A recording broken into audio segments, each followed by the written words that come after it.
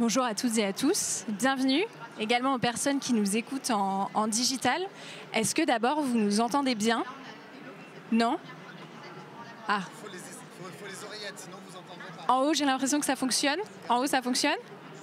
Vous entendrez rien sans les écouteurs. Ouais, il faut mettre les écouteurs. Sinon vous entendrez euh, absolument rien. C'est bon?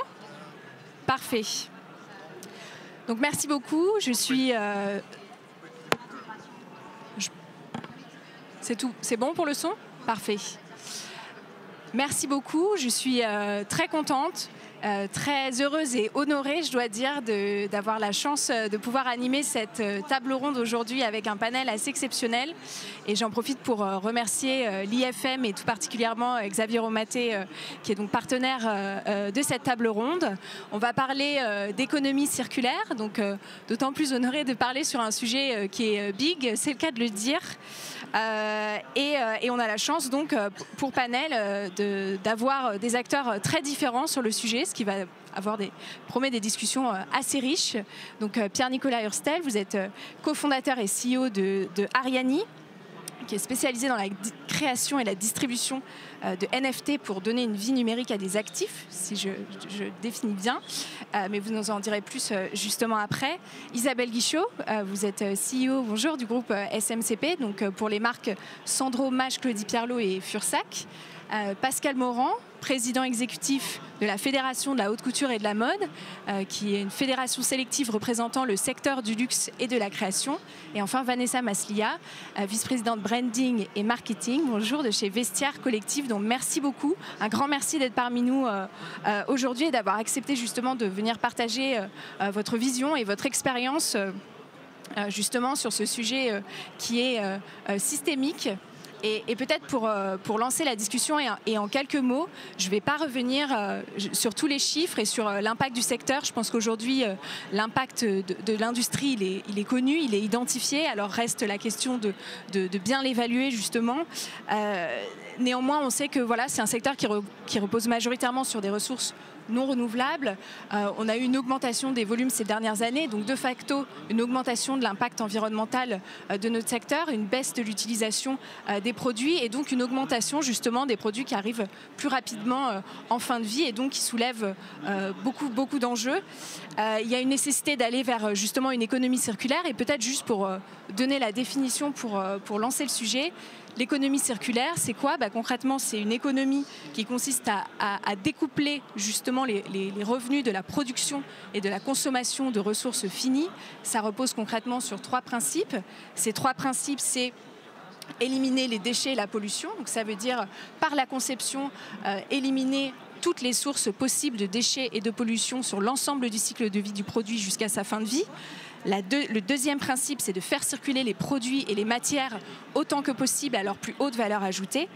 Et le troisième principe, sachant qu'on aura toujours un impact, c'est comment on régénère et on répare justement notre empreinte, on régénère nos écosystèmes naturels.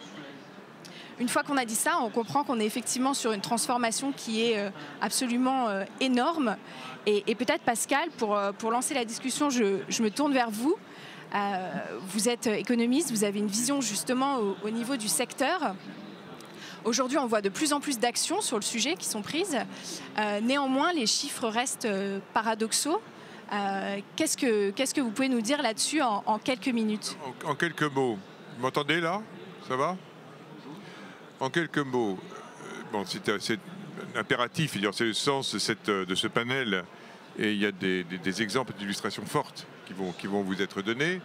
Moi, brièvement, mais je vais dire des choses, je vais aller, vraiment euh, rapidement parce que euh, c'est connu. Mais s'agissant des, des- euh, des marques de luxe et de création, et je dirais plus globalement, et, euh, aussi du luxe abordable, comme on dit, Isabelle pour en témoigner. On est, on est vraiment dans cette, très impliqué dans ces directions. Il y a des programmes lourds. Je pense, euh, euh, sans faire l'article sur, sur chacun des groupes, sur chacune des marques, mais parmi les plus gros, à ce que fait, euh, ce que fait LVMH avec son programme qui s'appelle Live 360 ou 360 sur la biodiversité. Euh, je pense aussi à Nona Source, qui est cette, très belle initiative qui met à disposition à des prix très abordables des tissus pour tous les, pour les jeunes, les créateurs, les entrepreneurs. Euh, je pense à ce que fait euh, Kering de différentes manières, aussi à ce que font les marques de Kering, notamment Balenciaga, avec, euh, avec des partenariats avec des, entreprises de seconde main qui, sont axées sur la seconde main. Euh, je pense, oui, je pense aussi à Gucci, le programme Equi- Equilibrium. Je pense à l'atelier des matières de Chanel. Je pense à ce que fait Hermès en matière de, de- en matière de tous les travaux en matière de recyclage. Donc, et ça, on va pouvoir. C'est vraiment une tendance globale. Mais je dirais que cette tendance globale, et ça, il ne faut pas perdre, de vue ce, ce que, ce que je vais, ce que je vais dire, euh, non pas parce que je le dis moi, mais parce que ce sont des faits. C'est que cette tendance globale, elle est contre-tendance. Parce que la vraie tendance au niveau, on va dire européen, et encore plus au niveau mondial, elle n'est pas. Elle, est, à l'augmentation des volumes. C'est ça qu'il faut voir. Prenons, le marché français. Sur le marché français, il y a une étude très pertinente qui a été faite par l'IFM et, par le cabinet Kantar. Qu'est-ce que dit cette étude? Que les, que les volumes en nombre de pièces sont restés stables jusqu'à 2014 et qu'ensuite ils commencent à augmenter. Vous savez, le, marché français, c'est 30 milliards de- d'euros. C'est à peu près 2,4 euh, euh, milliards de, vêtements. Et sur ces 2 2,4 milliards, donc vous voyez bien que c'est à peu près chaque Français achète environ 30, euh, 30 vêtements par an. Vous connaissez, ça par cœur. Bon. Mais il y a une augmentation. Pourquoi est-ce qu'il y a une augmentation? Plutôt, d'ailleurs, le montre l'étude de l'IFM et Kantar sur, sur, le, sur prêt-à-porter féminin, parce a les discounters, c'est pas de la stigmatisation, c'est pas un jugement, c'est juste une réalité.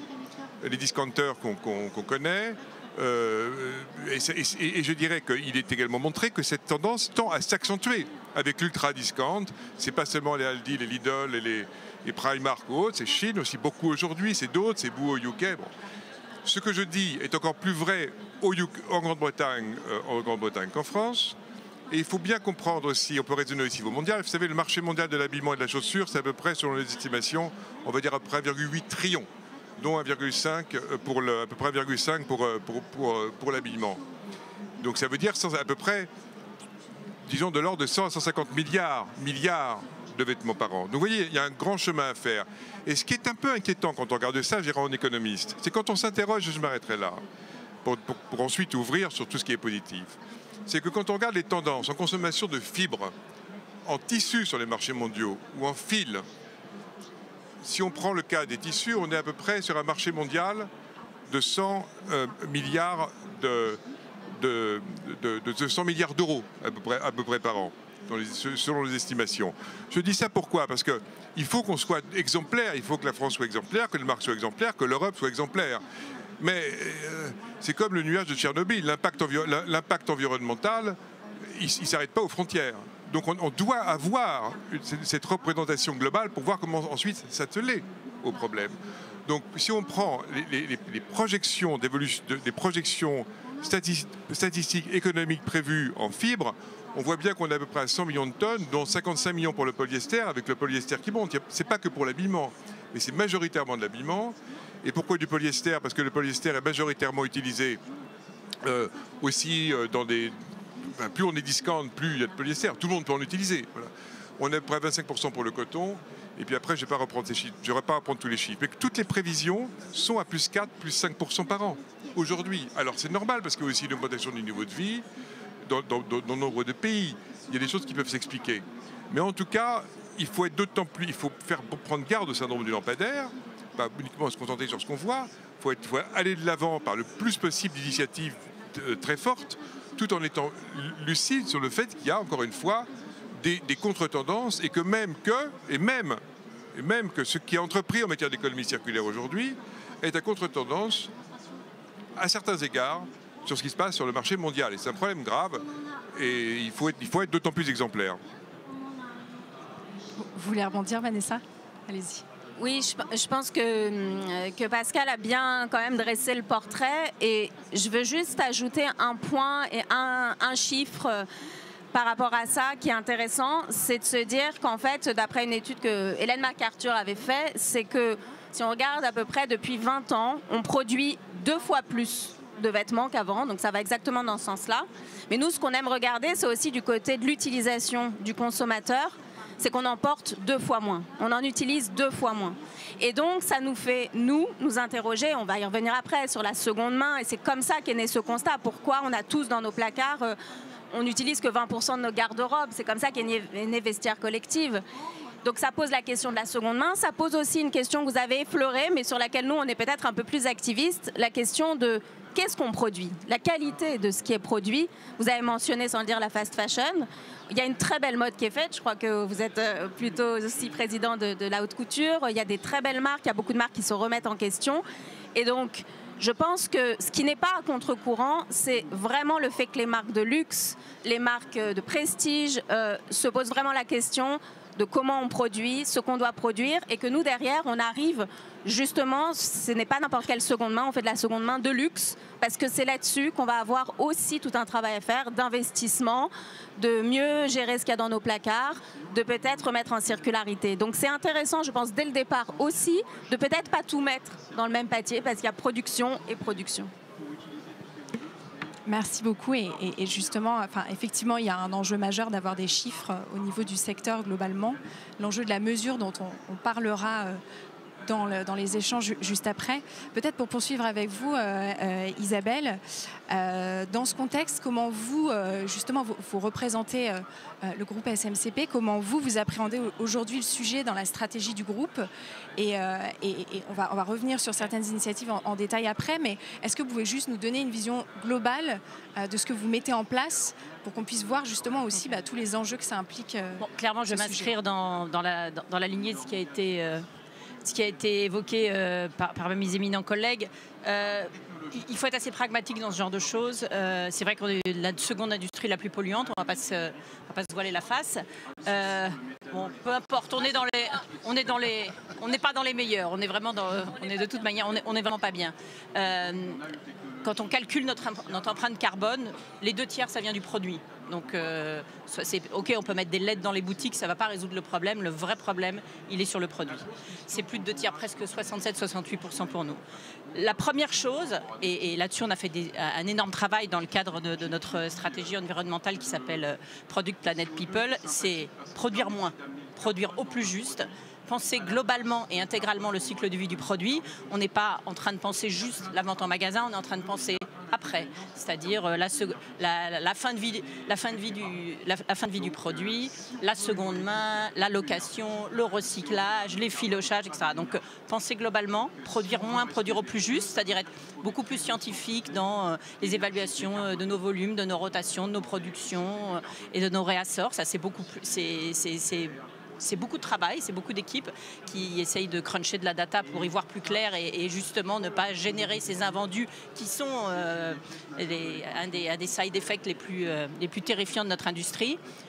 Éco-concevoir, choisir les bonnes matières, penser à de la substitution énormément, anticiper le recyclage. Donc c'est un plan qui est extrêmement global sur le produit, euh, mais qui passe par effectivement une bonne compréhension des volumes. Et je pense que Pascal l'a bien évoqué. C'est vrai que si euh, on avoir, peut pas être fataliste sur les volumes. Il faut qu'on réussisse quelque part à réduire notre empreinte carbone tout en limitant notre notre notre volume et en, tout cela en éco-concevant. Donc euh, c'est une équation qui est devenue extrêmement plus complexe que, précédemment, mais elle est aussi extrêmement intéressante. Elle est très motivante pour les équipes, notamment les studios de création qui trouvent ça absolument passionnant de se, de se pencher sur euh, le sac de demain, le cuir de demain, la chaussure de demain. Enfin, il y a des vrais gros sujets extrêmement intéressants, mais on ne fera pas l'économie de cette euh, refonte globale de, notre activité parce qu'on a tous des ambitions de réduire notre empreinte carbone et on a tous quand même l'ambition de faire grandir euh, nos marques. Alors effectivement, à moins de tuer des concurrents, ce qui est une, une manière de, de, de réduire l'empreinte carbone, mais on, pense aussi qu'il y a un certain nombre de marques qui doivent, euh, progresser et il y a des initiatives formidables dans, dans la, fédération de la mode notamment que, dirige Pascal. Euh, on, a, on a une responsabilité, un devoir. Nos, clients nous le demandent aussi. Euh, on a lancé une, une, une, une initiative de traçabilité avec euh, une start-up qui s'appelle Fairly Made. On en reparlera peut-être tout à l'heure. Et euh, j'étais très étonnée à la fois de l'impact sur nos forces de vente qui sont euh, très excitées en magasin de faire les démonstrations aux clients et de montrer la traçabilité d'un produit, euh, son impact carbone, les kilomètres qui, ont été parcourus, euh, le scoring de qualité comme une scorecard, une euh, un scorecard nutritionnel sur euh, sur, sur des pâtes par exemple, et de l'accueil des clients qui sont extrêmement intéressés. Et puis c'est une démarche d'humilité aussi parce qu'on a des produits qui ont des bons scores de traçabilité, des bons scores de qualité, d'autres un peu moyens, etc. Et donc c'est toute une démarche, c'est une trajectoire. Et je pense que si on a tous l'ambition d'avancer, euh, je pense qu'on on- on- on va, on va progresser. Je ne dis pas très vite, mais en tout cas l'industrie est, je pense, extrêmement concernée. Merci beaucoup Isabelle. Et, euh, et- et peut-être justement, vous avez mentionné les initiatives euh, autour euh, de, de la seconde main, donc après justement la, la- la- la distribution. C'est vrai que justement au cœur de l'économie circulaire, il y, a, il y a la transition vers des nouveaux modèles justement euh, économiques. Alors, on en a testé. alors, c'est vrai quand on a vu les, les formidables succès d'Investir Collective avec qui on a fait des partenariats il y, a- il y a deux ou trois ans, quand on a tout bêtement regardé le nombre de pièces de nos marques en vente à un moment X sur Vinted qui sont absolument astronomiques. Euh, on a eu deux types de réactions. La première, c'est que nos produits ont, une, seconde vie après la vente en magasin, et c'est plutôt rassurant. Ça veut dire que la qualité du produit fait que bah, son usage est assez pérenne, et ça, c'est extrêmement rassurant euh, pour la qualité des produits euh, qui sortent de nos maisons. Et on s'est aussi dit, c'est dommage, on perd le contact avec ces clients-là, on, perd la, fin, on perd cette seconde histoire, on perd la troisième histoire de cette robe, et ça serait quand même intéressant de continuer le dialogue avec, avec le client. D'où l'idée d'effectivement de, à côté des acteurs qui sont euh, euh, très experts comme le sont Vestiaire Collective euh, dans, le secteur, d'avoir nous aussi notre propre, notre propre seconde main. Donc on l'a démarré il y a plus d'un an maintenant sur Sandro, on l'attaque là ce mois-ci avec Mage. Euh, ça c'était en France et en Europe. On l'avait développé également aux États-Unis. On a lancé aussi une initiative. Donc c'est euh, sur le site, de nos maisons, il y a un onglet seconde main et euh, ça fonctionne. C'est une vraie circularité avec des, vou- des vouchers qui sont, délivrés et de la location sur les pièces à usage unique, c'est-à-dire la cérémonie par exemple. Parce que c'est vrai que la pièce de cérémonie, c'est pas une pièce qu'on va porter euh, tous les deux jours. Et on trouvait ça intéressant d'avoir un business model qui corresponde à l'usage réel des pièces de cérémonie et euh, qu'on a lancé sur Mage et qu'on va étendre aux autres marques également euh, cette année et qui est très intéressant. Mais à chaque fois, il y a des enseignements formidables sur le type de clientèle que ça, attire, les réactions des clients, la qualité du service attendu et, on est très, excités de faire, de, faire, de faire croître ces modèles. Voilà. On- Merci Isabelle. On va y revenir justement euh, un peu plus en détail sur, ce retour d'expérience pour que aussi on, pour parler des freins aussi qu'il y a euh, sur, euh, sur le développement de ces nouvelles modèles économiques. Peut-être Vanessa, est-ce que justement sur le marché de la seconde main, effectivement vous êtes un acteur pionnier, vestiaire collective et incontournable euh, là- là-dessus. Est-ce que vous pouvez nous donner justement euh, les, les- grandes tendances, les, grands chiffres clés euh, justement sur la seconde main? Est-ce que vous observez, puisque vous menez effectivement des études depuis 2019, euh, si, je ne me trompe pas, et justement les derniers résultats sont sortis, celles de cette année hier? Donc est-ce que vous pouvez nous en dire euh, quelques mots? Alors effectivement, on a, euh, rafraîchi notre étude avec le BCG euh, que, nous avons sorti hier. Et ce qui est intéressant, c'est que aujourd'hui, le marché de la seconde main, c'est à peu près 100 à 120 milliards de dollars. Ce qui est surtout intéressant de garder en tête, parce que tout ça, ça fait plein de chiffres, c'est que c'est trois fois plus qu'il y a trois ans.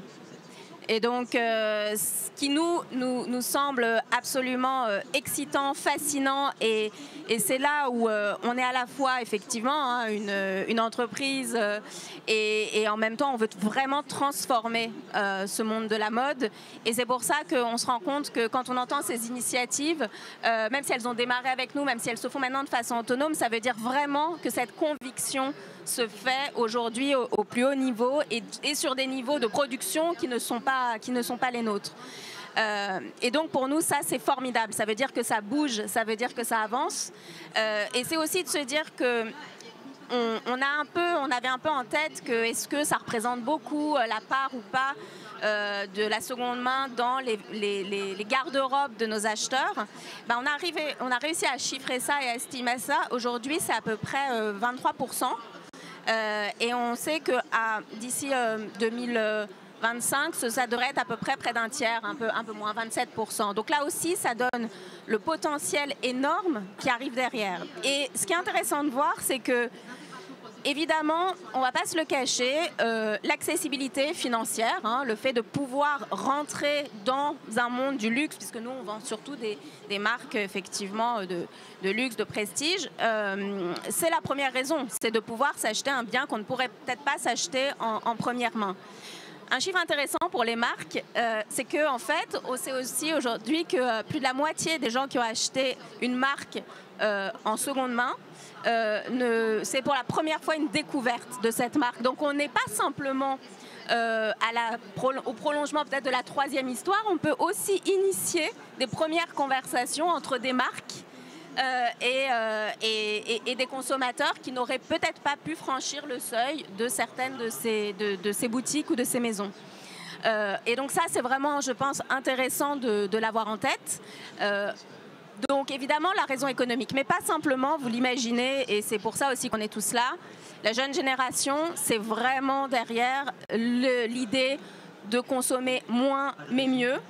Euh, évidemment, tout le désastre écologique qu'ils savent auquel ils vont devoir faire face, et donc il y a vraiment une espèce de restriction là-dessus et de vraiment être très conscient. Il y a des jeunes très activistes euh, qui veulent vraiment rentrer dans cette démarche, mais qui sont quand même fans de mode. Et euh, il y a également aussi euh, cette volonté d'investissement et la durabilité, le fait de prolonger la vie d'un vêtement, d'un article, lui donner une nouvelle histoire, c'est effectivement aussi une très forte motivation. Donc les motivations, elles ont énormément euh, poussé le simple argument économique. Après, on sait tous qu'on rentre en période de récession et de la fin de l'abondance, pour citer quelqu'un. Euh, donc on sait que la seconde main, je ne sais pas s'il faut dire heureusement ou malheureusement, mais en tout cas a de nouveaux, nouveaux élans devant elle. Et, justement, euh, vu, qu'on a encore quelques minutes, euh, on avait échangé justement là-dessus, sur le fait, sur les, les, profils de clients, le fait que c'était jusqu'à présent plutôt un marché d'acheteurs que de vendeurs. Est-ce que vous pouvez juste peut-être nous, en dire quelques mots là-dessus, sur les, changements qu'on observe? Alors c'est assez intéressant parce qu'effectivement, euh, aujourd'hui, en tout cas nous sur le profil qu'on a sur Vestiaire, c'est assez équilibré. On a à peu près 40% euh, de nos clients, donc on a 23 millions de membres, c'est une grosse base et c'est que des, amoureux de la mode, mais 40% qui sont plutôt que des acheteurs, mais on a 40% qui sont que des vendeurs. Et on en a 20% qui font les deux. C'est évidemment ceux-là, nous, qu'on a envie euh, d'aller chercher parce que c'est parce ceux qui en fait, quelque part, ne sont pas que dans un acte opportuniste de je vais me faire de l'argent ou je vais pouvoir acheter un produit qui me plaît. C'est ceux pour nous qui sont vraiment engagés dans la circularité. Euh, et ensuite, la qualité en fait de ce qu'on appelle la, supply, en fait, la qualité des produits qu'on va pouvoir euh, trouver du catalogue. Euh, je sais qu'Isabelle parlait de, de, Vinted, qui effectivement, bon, on va pas se le cacher, nous on est très contents, ils démocratisent énormément la seconde main. Donc encore une fois, tout ce qui va vers cette circularité, je pense qu'il faut le saluer. La vraie, je pense, différence, c'est que nous, encore une fois, les gens, quand ils viennent chez nous, soit pour vendre, ils savent qu'ils vont trouver une communauté de connaisseurs qui ne vont pas venir marchander euh, euh, pour, euh, pour quelques euros parce qu'ils connaissent la valeur de ce qu'il y a sur la plateforme, parce qu'ils cherchent parfois des produits collectors et aussi ceux qui viennent acheter, et je pense qu'on en reparlera tout à l'heure, ils viennent aussi acheter des produits qui sont certifiés, authentifiés, en lesquels ils peuvent avoir confiance, parce qu'on parle aussi de, d'achats en général plutôt assez, assez chers et assez coûteux. Merci beaucoup. je, me tourne vers vous, du coup, Pierre-Nicolas. vous proposez justement une solution et on reviendra aussi un peu plus en détail là-dessus euh, euh, pour euh, justement que les marques développent ces services autour de, l'économie circulaire. Quels sont les, enfin, on a, beaucoup de marques qui développent justement, qui réintègrent cette offre, mais il y a aussi beaucoup de freins. Quels sont ces freins justement aujourd'hui, si vous pouvez nous en dire quelques mots? Bah, D'abord, je vais reprendre ce que, disait Pascal tout à l'heure. On a un, problème de fond qui est un problème de business model. On a un problème de fond qui est un problème de business model. C'est-à-dire, euh, tout le monde veut gagner plus d'argent, accroître les ventes, et en même temps, on se dit qu'il faudrait se mettre à racheter des choses qui ont des... Donc là, on a un problème euh, structurel d'alignement, en fait. Tant qu'on n'aura pas créé un business model qui permette à tout le monde de gagner de l'argent, un problème qui, un business model qui permette aux plateformes qui facilitent de gagner. Donc ça, c'est assez euh, profond en fait dans ce qui fait qu'aujourd'hui, mais d'ailleurs même, euh, on pourrait même aller jusqu'au recyclage, parce qu'il pourrait y avoir des, il y a 1% des textiles qui sont recyclés. C'est le, gros problème environnemental, si on reprend ce que vous disiez tout à l'heure sur les... On se dit que 9 vêtements et 0.9 sur 10 finissent dans un landfill. Le problème là-dessus, et c'est pas euh, la enfin, je veux dire, la revente ne peut pas tout faire. Donc, est-ce qu'on va euh, créer un, modèle économique qui incentive à aller, qui incentive à donner une fin de vie euh, correcte? A un problème structurel de confiance. C'est-à-dire qu'aujourd'hui, personne ne fait confiance à personne. Confiance à l'acheteur, la marque ne fait pas confiance à la plateforme. Donc tout le monde est là en train de, chercher, des, chercher à contrebalancer l'absence de, confiance. Euh, le fait de contrebalancer coûte une fortune. Parce que ça coûte cher d'authentifier, etc. Donc la question qu'on peut se poser, c'est comment recréer de la confiance ce système-là pour que cela puisse devenir pour qu'il puisse devenir possible des business models qui sont profitables pour les marques, pour les plateformes qui facilitent l'intermédiaire et qui encouragent fortement les personnes qui utilisent HFAS. Quand on s'imagine qu'on n'utilise que 20%, c'est ce que fait trois fois plus, c'est ça, deux ou trois fois plus de vêtements qu'il y a 20 ans, et on utilise deux fois moins. Bon. Alors maintenant, imaginez-vous, euh, imaginez-vous un monde dans lequel les vêtements produits euh, sont automatiquement listés sur vestiaire collectif. chaque fois qu'on achète quelque chose, c'est immédiatement visible, soit sur Vinted. L'actif finalement est tout de suite guide d'une certaine façon. Et j'ai des choses dans mon armoire et quelqu'un peut-être va venir me faire une offre, utiliser quelque chose que je n'utilise pas au quotidien. En fait, euh, réfléchi comme ça, là, ce que je viens de vous décrire, c'est le fonctionnement euh, euh, d'une marque actif numérique.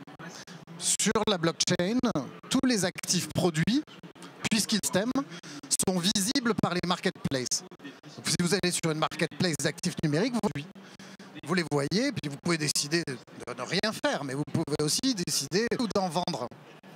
Bah, nous, c'est ça qui, nous intéresse. On se dit, bah, si euh, chaque objet a dimension numérique, et qu'avec cette dimension numérique, on pouvait le rendre plus liquide, le proposer plus facilement, proposer plus facilement de le remettre dans le circuit, donner euh, comme impact. Et ce faisant, en fait, en créant, en digital, ce qu'on permet de faire, c'est de, régler, en tout cas d'aller vers plus de confiance si euh, j'ai euh, une preuve que j'ai acheté un vêtement. Pas me l'acheter me fait un peu plus confiance que si je ne l'ai pas. La marketplace qui va produire, parce que de toute façon il faut authentifier les produits chers, elle va peut-être y passer un peu moins de temps cher. Si euh, le fait de lister cet objet numérique est cher, il y a peut-être de la place pour qu'il y ait une royalty pour la marque. Et s'il y a peut-être de pour la marque et que ça coûte moins cher d'authentifier le produit, bah, peut-être que la marque a un peu plus en forme et que les liens sont plus faciles à créer. Et puis alors là, tout d'un coup, on a des intérêts qui l'acheteur qui peut rendre sa garde-robe plus liquide, celui de la marketplace qui a ses cookies belles, la marque qui a maintenant une vraie, je dirais, ligne de revenus. Hein, c'est plus un problème. Je veux faire de la croissance, je peux faire de la croissance avec ma seconde main et de l'acheteur qui est, en fait, en digitalisant les produits, Hein, alors les digitaliser. Euh, on parlait tout à l'heure de faire l'email qui, qui vous donne, qui va aller chercher dont le produit est fait et qui va donner accès à cette information par un QR code. Nous, on propose un cran plus loin en disant ben, j'ai lu cette information avec mon smartphone, collecter l'actif numérique qui est correspondant. je vais mettre ça euh, dans mon. Et avec ça, je vais pouvoir euh, eh ben, accéder aux étapes suivantes de la vie, par exemple la seconde main. Mais aussi peut-être le recyclage, parce que euh, si demain j'ai ces actes, je peux les produire au moment du recyclage, euh, démontrer la façon dont ils ont été faits, ça se découpe, les packaging, ça se perd. Donc il y, a- y a plein de raisons de se dire finalement, l'identité numérique du produit, c'est intéressant qu'elle soit prise en main par l'utilisateur. Donc voilà un petit peu l'idée qu'on se fait nous de ce monde-là et comment on pense que la tokenisation et donc faire euh, des NFT attachés au produit hein, euh, peut permettre de résoudre ces problèmes-là ou en tout cas ce système. Vous voulez rebondir, Vanessa?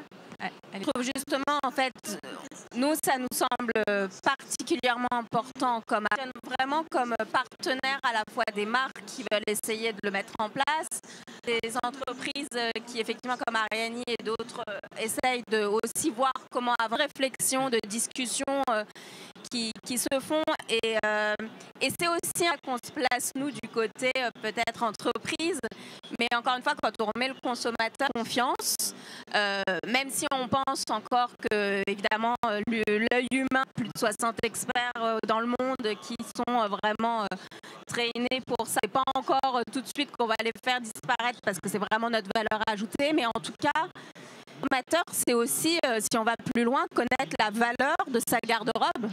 Et la, réinvestir peut-être dans la première main, peut-être dans de la seconde main, peut-être dans complètement autre chose actuel où on parle de euh, voilà de, savoir euh, comment valoriser ce qu'on a chez nous et dans nos placards c'est un axe particulièrement intéressant Il y a aussi un enjeu règlement. Euh, Est-ce que peut-être juste Pierre-Nicolas, vous pouvez nous en dire euh, deux mots, puisque c'est la question du digital? Qu'est-ce que ça veut dire euh, concrètement?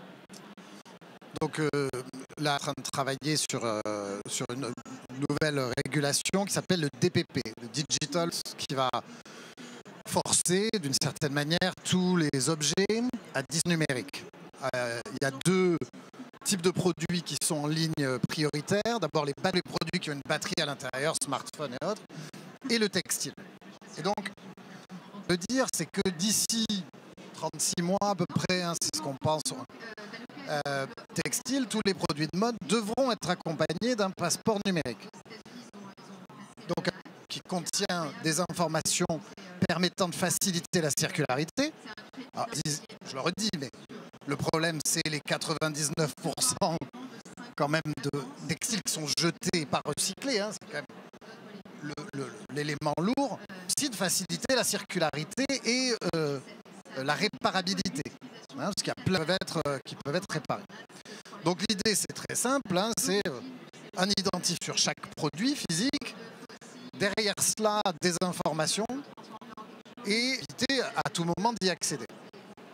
Donc c'est une régulation qui est en, cours, hein, si on peut dire, avec des, euh, hearings, etc. Donc c'est très long, hein, c'est le temps de l'Europe. Sans se dire que euh, l'Europe, comme elle a été précurseur sur euh, la est en train de vouloir être précurseur sur- avec cette idée très simple que l'identification du produit peut le permettre. Voilà. Donc on sera la question un peu que je donnais tout à l'heure en, préliminaire. hein. Est-ce que ce passeport il est juste conçu que je peux juste lire, scanner un QR code ou lire, ou est-ce que le consommateur est en main Hein, Vraiment avoir dans son téléphone une trace une trace de sa garde-robe, euh, des éléments à l'intérieur, peut-être même. Je, quand vous parliez de cette garde-robe, moi je trouve ça complètement dingue. Et c'est vrai, hein, on utilise euh, peut-être euh, la, réalité de l'impact carbone en temps réel de ce que j'ai dans mon. que je peux être incentivé si je le réduis, que je peux être reconnu d'ailleurs par d'autres participants de ma vie quotidienne parce que j'agis positivement là-dessus. C'est des choses qu'on fait très très bien avec la tokenisation. J'ai tous les euh, passe. Il y a une mesure automatique euh, du poids que ça a en termes environnementaux. À faire évoluer ça positivement peut se matérialiser par un badge que je peux pour avoir, je ne sais pas, un meilleur tarif sur mon électricité verte ou euh, un avantage. En fait, ces systèmes-là euh, sont permis par ces nouvelles technologies et de la tokenisation. Et l'appui, je dirais, la, base de ce DPP faire le premier pas, qui est quand même lourd, hein, parce que aller comprendre comment sont faits les d'informations accessibles sur tous les produits avec un identifiant, ça va être euh, important comme question. C'est ben, qu'est-ce que les marques pourront faire de plus? Quel type de service? Et, et on va permettre ça.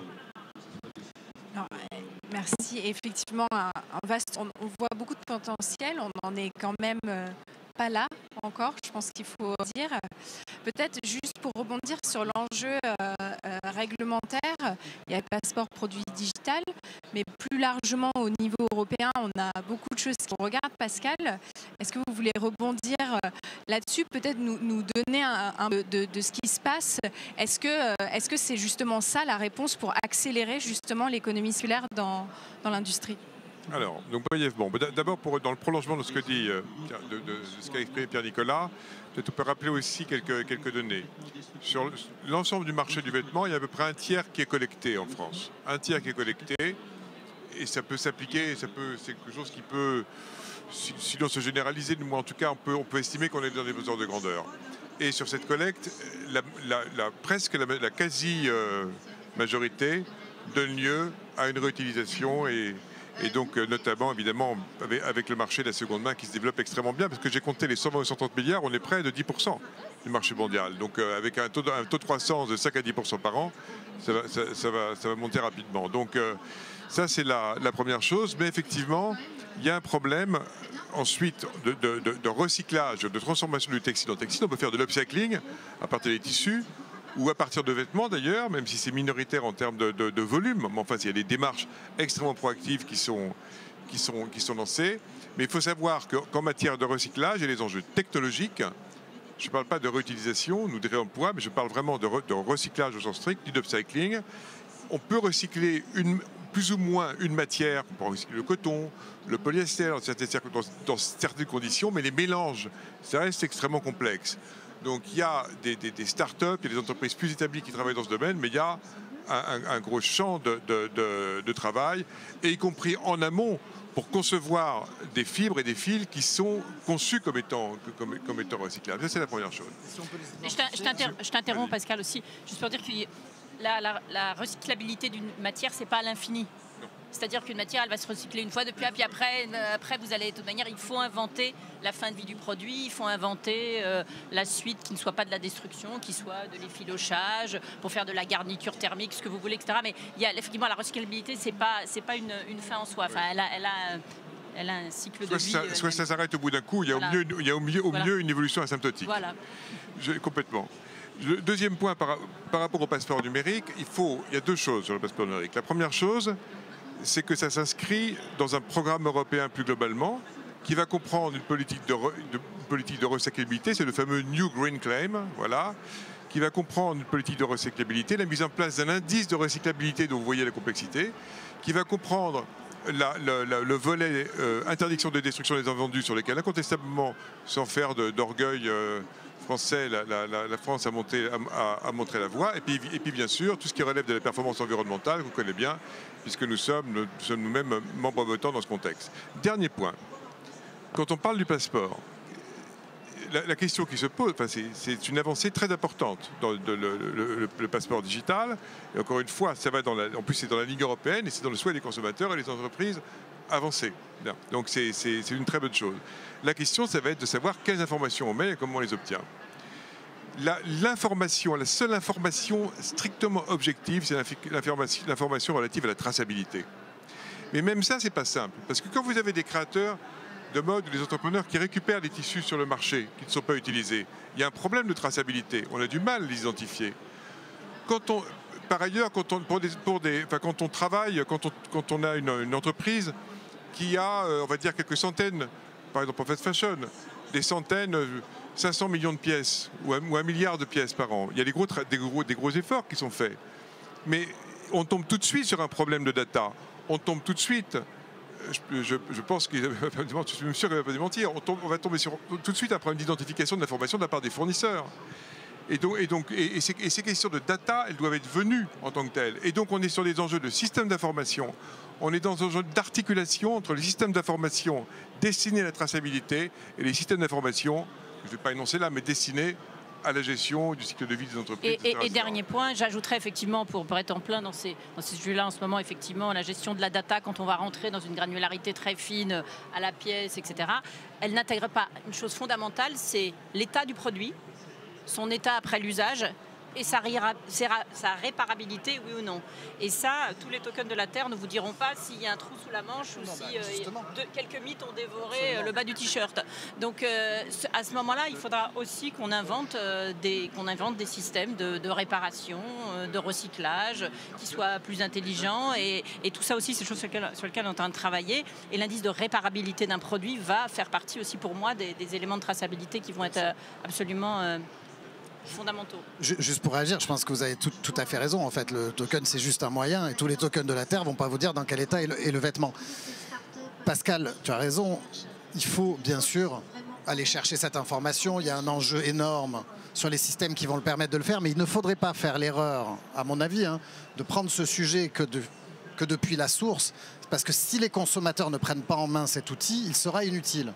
Si le jour du recyclage ou de la revente, il n'y a plus le truc qui permet de dire comment c'est fait, ça n'aura servi à rien. Et donc, je pense que c'est majeur, évidemment, de structurer l'information de la supply chain, de digitaliser cette supply chain d'abord, s'assurer que, et d'ailleurs, je ne fais pas du tout moi l'apologie de la blockchain pour ça. Je pense que le cloud marche très, bien. Hein.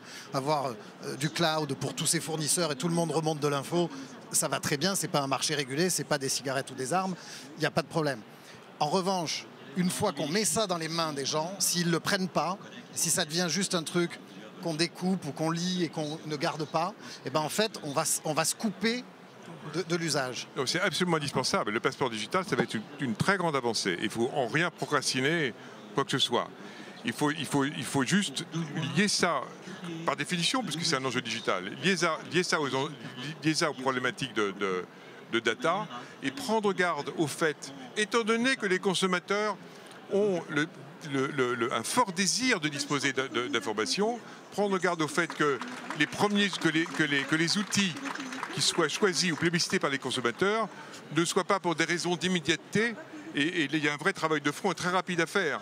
Il faut, il faut, juste, euh, il faut juste le faire et il faut faire attention à, euh, à ce qu'il n'y ait pas, des, pas de la fake information. Ah, des, outils insuffisants peuvent être dangereux parce qu'ils peuvent, envoyer, ils peuvent embarquer sur une fausse voie. et c'est là, là, aussi que la politique européenne est importante. Ah, sur l'envie des consommateurs, je voudrais juste faire réagir sur une discussion que j'avais avec les équipes de L'Oréal euh, en une, une phrase. voilà, une phrase avec les équipes de L'Oréal la semaine dernière qui commencent à, à déployer le Augmented Product, donc un QR code par produit, information. Bah, ils s'aperçoivent que quand il ne s'agit que d'avoir de l'info sur comment c'est fait, les gens s'en moquent un peu. C'est-à-dire, ils n'interagissent pas. ils la veulent, ils la, veulent. Non, mais c'est-à-dire, ils veulent l'info, mais c'est nécessaire, mais pas suffisant pour produire des comportements. Et donc, c'est la base.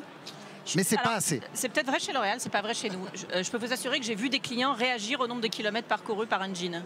Ça les a fait s'interroger réellement. Donc je pense qu'il y a une vraie prise de conscience dans nos métiers qui est sans doute plus, qui est sans, doute plus vive et, et c'est une très bonne chose. Justement, euh, j'allais rebondir là-dessus, Isabelle. Donc vous, avez euh, effectivement le partenariat avec Fairly Mail, vous avez des, données. Est-ce que peut-être si maintenant on regarde un peu plus les perspectives, parce que là on a, parlé de beaucoup de freins, on voit bien qu'il y en a encore euh, beaucoup, qu'on n'en est pas là, comme on disait. Maintenant sur les perspectives, comment vous justement vous, projetez par rapport aux, marques du groupe sur qu'est-ce que ça va représenter ces nouveaux modèles économiques dans quelques années, quels, sont les objectifs là-dessus? La traçabilité, c'est un chemin sur lequel on ne reviendra pas. Euh, on est à 30% de nos références sur l'ensemble de nos marques. On va être à 100% d'ici deux ans. Euh, et avec l'objectif qui a été donné aux équipes, c'est que les notes, les scorings euh, augmentent d'année en année. C'est-à-dire qu'on doit, il y, a une feuille de route pour l'ensemble des équipes sur l'amélioration du scoring. Les, les, business models dont on parle, pour moi, ils doivent devenir organiquement intégrés intégré à, notre business model primaire. Euh, aujourd'hui, pour l'instant, c'est un business model principalement digital. Euh, parce qu'on a travaillé avec un partenaire euh, en, white, label, parce qu'effectivement c'est de la logistique qui est assez lourde. Mais je pense qu'à terme, on doit intégrer aussi dans nos magasins physiques cette même composante, qu'on soit capable de le métaboliser globalement et d'en faire une unique expérience client qui est effectivement cette première vie, seconde vie, troisième vie, euh, et, qu'on invente et qu'on invente ensemble avec, avec nos équipes et avec sans opposer le, la première main à la seconde main ni le brick and mortar au digital, on en fasse une, expérience client globale et un, un unique business model. Aujourd'hui, c'est clair, ça, ça ne révolutionne pas notre business model, mais c'est en forte croissance, bien évidemment. C'est exigé par, nos clients.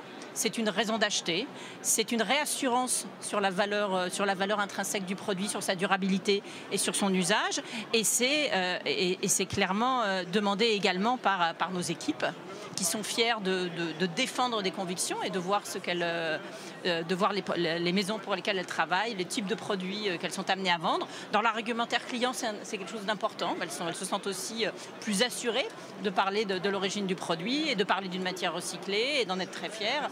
Donc je pense que c'est bah, un mouvement qui est, inéluctable maintenant et, dans lequel on prend beaucoup de, plaisir à, bah, s'interroger, à être en questionnement permanent. Euh, peut-être juste euh, euh, sur, la question des consommateurs, est-ce que vous pouvez juste nous dire en, deux mots ce que vous, quel retour vous avez justement sur ce que vous avez mis en, place là-dessus? Sur, sur, la traçabilité ou sur la seconde main? Sur, Alors, sur les deux, la traçabilité, beaucoup de curiosité très peu de réactions négatives. Les gens sont plutôt. Et, honnêtement, on a été très fair, c'est-à-dire qu'on n'a pas choisi que les références qui, pour l'instant, qui avaient les bonnes notes. On a choisi ce, sur quoi on avait le plus d'informations, d'informations vérifiées, fiables, et des fournisseurs qui ont joué le jeu, etc. Donc dedans, y a, on a des, références qui sont avec des, excellentes notes, puis d'autres avec des notes euh, perfectibles, dirons-nous.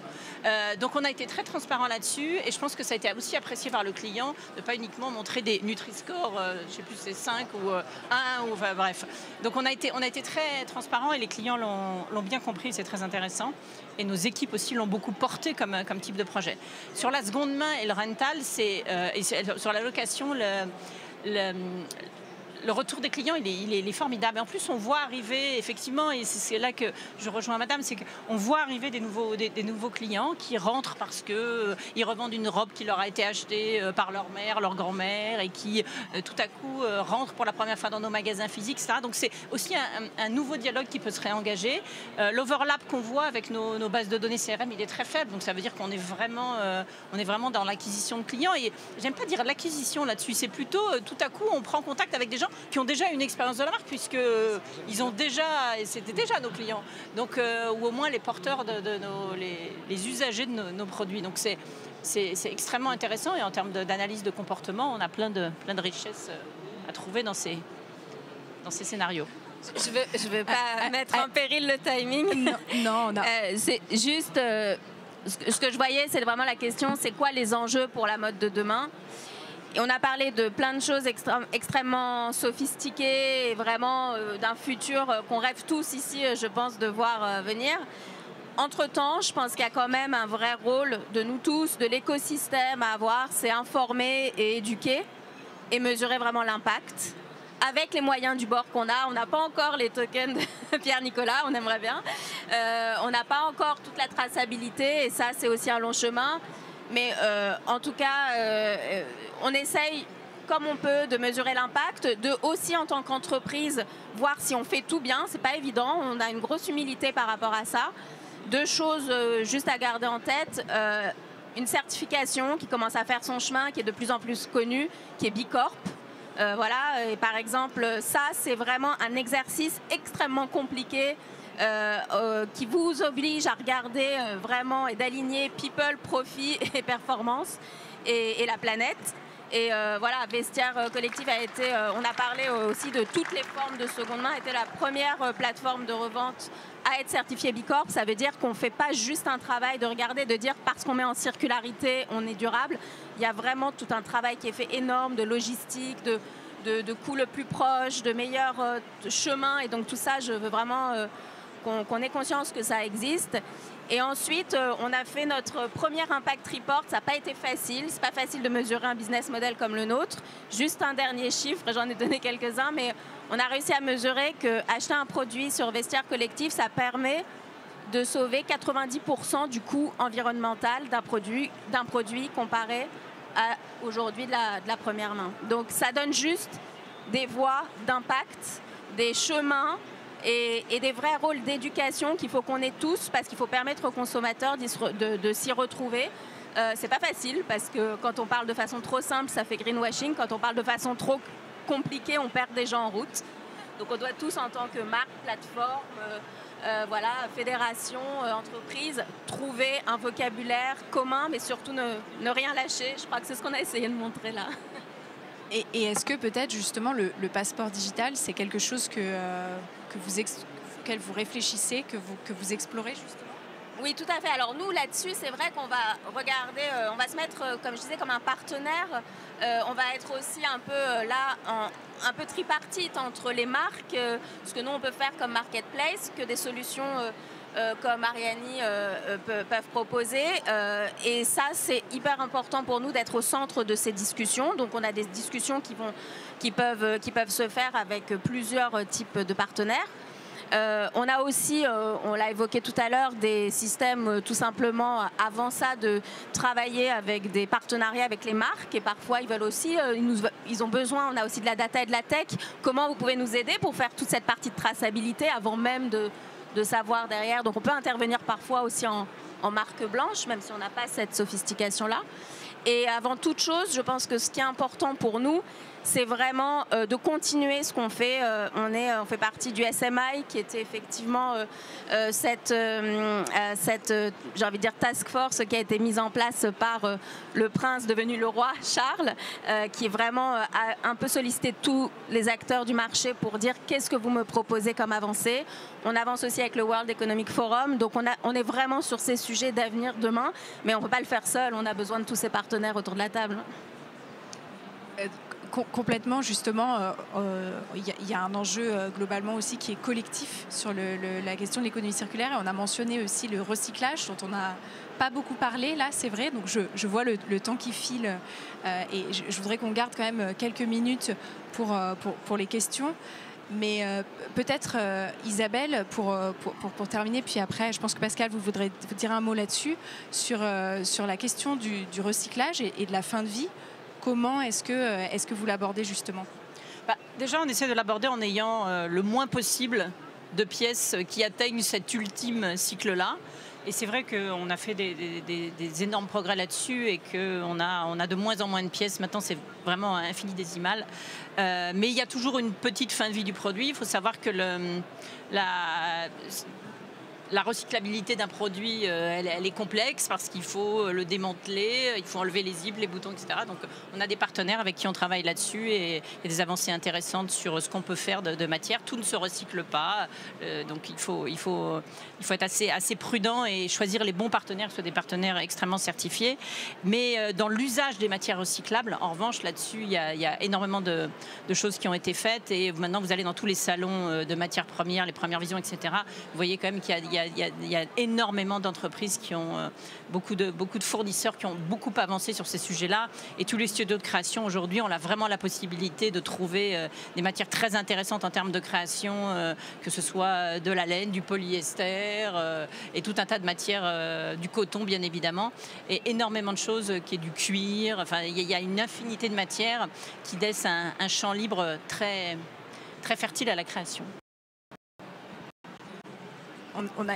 Oui, juste le recyclage, effectivement, comme le dit, il y a beaucoup de choses qui sont faites.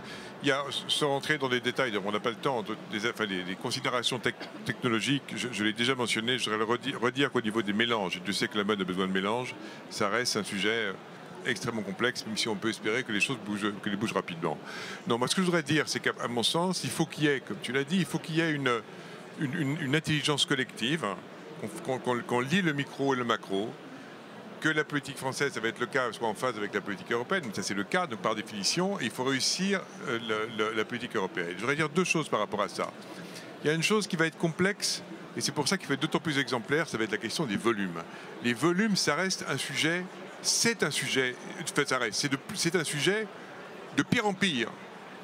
Le haut de gamme, le haut de gamme représente, quand, quand on dit qu'il faut acheter mieux, qu'il faut acheter bien, qu'il faut acheter moins et mieux, le haut de gamme représente à peu près 10% du, marché, peut-être 15 ou 16% parce qu'il y a le tourisme en France, c'est-à-dire à peu près un millième, encore, encore, au maximum un millième des volumes. Donc les volumes sont considérables. Or, aujourd'hui, et on retombe sur un problème classique, on ne peut pas arrimer la politique environnementale, et c'est très complexe d'arrimer la politique environnementale à la politique commerciale. Et tout ce qui arrive euh, par petits paquets euh, de vêtements à 5 euros, on sait très bien comment c'est fait chez les sous-traitants, sous-traitants, sous-traitants, sous-traitants, c'est des volumes gigantesques. Sans citer de nom là, mais enfin, vous voyez, vous voyez à qui on peut, à qui, à qui, je peux penser, pas seulement, pas seulement à, une- à- une, marque. Dernier point. Dernier point, pour réussir, il faut avoir des données communes. Il faut avoir un langage commun et des données communes. Et là, il y a un gros travail collectif qui doit être fait.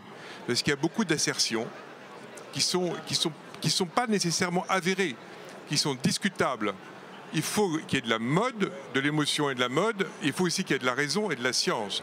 Le principe d'une assertion rationnelle, c'est qu'elle doit définir les conditions de sa réfutation. Or, ce n'est pas toujours clair quand on parle d'impact carbone. On considère que le polyester a beaucoup moins d'impact carbone que le coton ou la laine. Mais on sait très bien Vous savez tous que conditions- la, la- la matière qui a l'impact carbone le plus désastreux, c'est le cachemire. Oui. Non, non, c'est qui est mais le- totalement mais- mais le polyester n'est pas. oui, le euh, cachemire, oui, bien sûr. Et, la- et la, laine, la laine est très mal notée.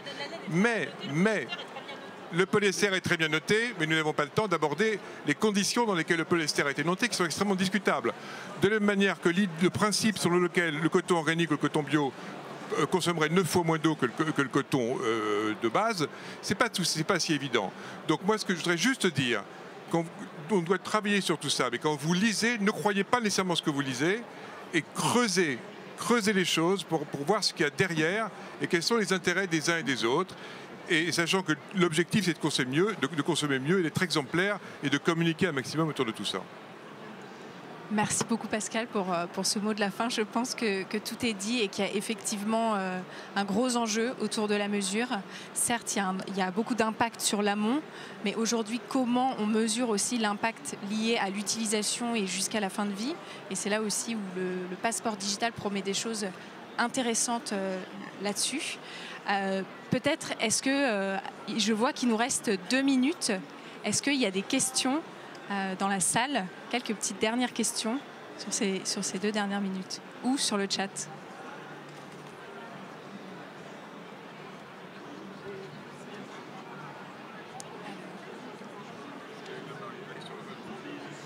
Ah, il y a une question tout en haut.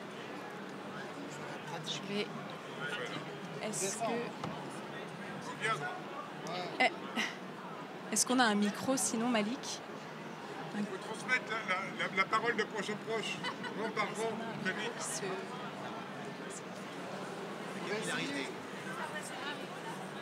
On a un micro. Oui, bonjour, euh, Baptiste de l'association Utopia. Euh, on a beaucoup parlé de recyclage, on a beaucoup parlé de, bilan carbone, produits, etc. À savoir qu'aujourd'hui, la, présence de microplastiques dans les océans, c'est à hauteur de 37% quand même de fibres euh, polymériques, on va dire. Et donc, quel avenir pour l'industrie textile?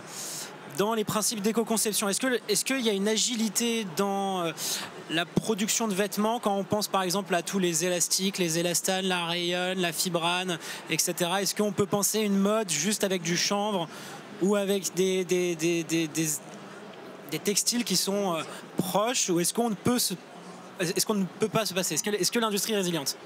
Le- le lin, c'est à peu près 0,3-0,4%. La laine, c'est 1,5%. Et, la laine est parfois vilipendée au détriment du polyester. Parce que la question que vous posez, c'est celle des fibres chimiques et du, et polyester en particulier. Et ça montre bien que le polyester, si j'ose dire, n'est pas tout blanc. Et qu'il faut être extrêmement attentif. Donc il faut oui travailler sur de nouvelles fibres, ça c'est clair, on n'a pas le temps d'en parler là. Mais aussi, encore une fois, la réduction des volumes de, poly- de- de- de polyester. Le polyester, c'est c'est- qui, qui pose le problème que vous dites. On est sur, on est sur euh, 55 Et sa, 000 recycli- 55 sa 000 tonnes. recyclabilité est très courte. Voilà, avec une, avec une recyclabilité très courte. Donc c'est un combat global, mais, on peut, mais les- les- le niveau de, de- de- de la production potentielle de lin, pour lequel il y a beaucoup de choses qui sont faites aujourd'hui, et à fortiori de chanvre, avec des enjeux aussi, parce que tous les vêtements, le, le tissage, il est largement fait très loin, donc il y a des problèmes de transport, souvent, souvent en Chine. La filature, ça se discute, c'est un autre sujet. Donc ça, ça représente des volumes euh, vraiment qui sont très, très, très, très faibles par rapport à un marché dont on peut espérer qu'il, même si ce marché décroît, je ne parle pas en valeur, mais décroît en volume.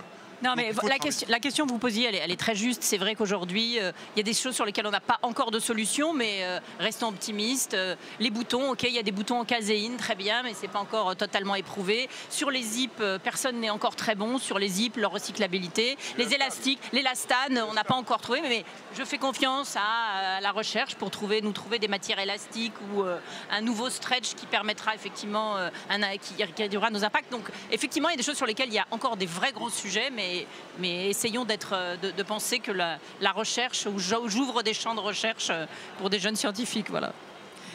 Merci beaucoup Isabelle. On est pile poil dans les temps, à quelques secondes près. Donc un grand merci. Merci beaucoup à- à tous d'avoir été présents. Merci. Merci.